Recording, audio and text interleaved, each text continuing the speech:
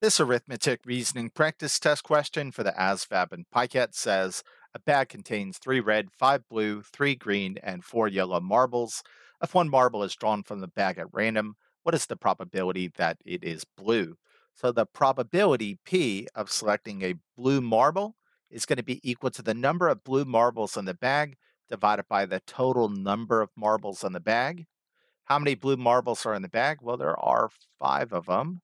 And how many marbles are in the bag in total? There are three red, five blue, three green, and four yellow. So this becomes five over three and five is eight, nine, 10, 11, 11 and four is 15. And you're probably saying, why isn't this an answer choice? Because we can reduce 5 and 15 by a common factor of 5. 5 divided by 5 is 1.